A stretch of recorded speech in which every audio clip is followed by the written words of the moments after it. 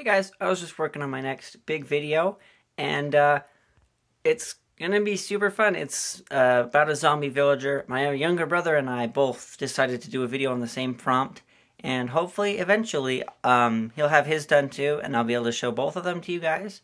Um, I also wanted to let you guys know that uh, I love doing milestones just for reaching a certain amount of subscribers, just as a way to reward you guys for being so awesome so um, I decided for 500 subscribers, we're gonna do some kind of live stream. I think Q and A or uh, something. If you guys have any suggestions, I'd love to hear them. So yeah, um, you guys are super awesome, and uh, see you next time.